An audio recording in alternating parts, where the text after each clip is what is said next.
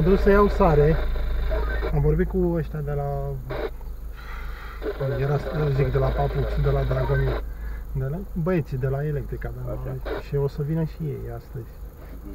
Deci dacă nu sunt aici, uh, e cheia de la solar.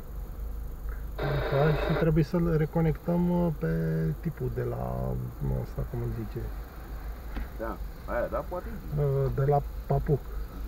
Și luăm un cablu de la mine de acolo de aluminiu și îl punem în panou acolo.